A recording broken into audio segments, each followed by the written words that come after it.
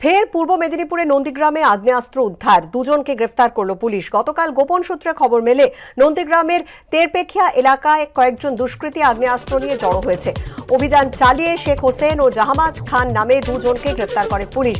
ধৃতদের কাছ থেকে উদ্ধার হয় আগ্নেয়াস্ত্র, দুটি কার্তুজ, অস্ত্র আইনে মামলা রুজু হয়েছে। ধৃত দুজনের অপরাধের পুরনো রেকর্ড রয়েছে বলে পুলিশ জানিয়েছে। রাস্তা দখল করে বেআইনিভাবে পার্টি অফিস তৈরির অভিযোগ উঠল তৃণমূলের বিরুদ্ধে। উত্তর চব্বিশ পরগনার মধ্যমগ্রাম পুরসভার আঠেরো নম্বর ওয়ার্ডের ঘটনা। অভিযোগ, তৃণমূল কাউন্সিলর প্রহ্লাদ দত্তর মদতে সরকারি রাস্তা দখল করে পার্টি অফিস তৈরি হচ্ছে। প্রশাসনের কাছে অভিযোগ জানিয়েও কাজ হয়নি বলে দাবি। বিজেপির দাবি, ক্ষমতার অপব্যবহার করছে শাসক দল। সরকারি রাস্তা দখলের অভিযোগ অস্বীকার করে স্থানীয় তৃণমূল কাউন্সিলরের দাবি, এলাকায় অসামাজিক কার্যকলাপ ঠেকাতে পার্টি অফিস তৈরি করা হয়েছে।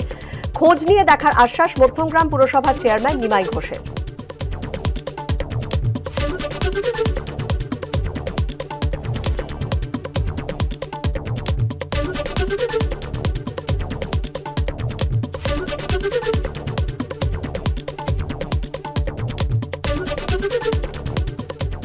সম্পূর্ণ অবৈধ। প্রথমত পিছনে মাঠ, খেলার মাঠ, আর একটা ষোলো ফুটের রাস্তা। সেই রাস্তাকে বন্ধ করে এটা একমাত্র তৃণমূলের পক্ষেই সম্ভব। কারণ এই দলটাই হচ্ছে হ্যাঁ চুরি, ডাকাতি, আর রাহাজানি থেকে শুরু করে মস্তানের দল।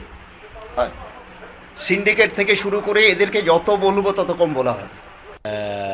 পক্ষে যারা পারিবেশ করছে, কারা বা কীভাবে করছে জানি না, তবে দলের কোনো মেসেজ আসেনি, আমাদের কাছে কোনো কমপ্লেন জমা পড়েনি ওয়ার্ডগতভাবে কেউ যদি পার্টি পার্টিবেশ করতে চায়, কোনো খাস জমি বা কোনো জমিতে করতে চায়, সেটা করতে পারে। কিন্তু বিষয়টা হলো সবটা পার্টির, আমাদের দলের সভাপতি সুভাষ ব্যানার্জি আছে।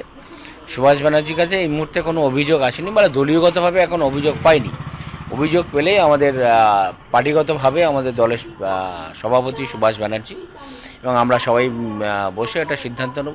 ভুবনেশ্বর স্টেশনের কাছে রেল ইয়ার্ডে লাইনচ্যুত মালগাড়ি ট্রেন চলাচল ব্যাহত গতকাল রাত সাড়ে আটটা নাগাদ ভুবনেশ্বর স্টেশনের রেল ইয়ার্ডে লাইনচ্যুত হয় মালগাড়ির পাঁচটি বগি কটক থেকে ভায়া ভুবনেশ্বর বিশাখাপত্তনমে যাচ্ছিল মালগাড়িটি এর জেরে বিভিন্ন স্টেশনে আটকে পড়ে Hirakhand express Rajdhani express Janshatabdi express সহ একাধিক দূরপাল্লা ট্রেন অন্যদিকে ছত্তিশগড়ের দোঙ্গারগড়ে লাইনচ্যুত হয় নাগপুরগামী শিবনাথ এক্সপ্রেস ক্ষয়ক্ষতির কোনো খবর পাওয়া যায়নি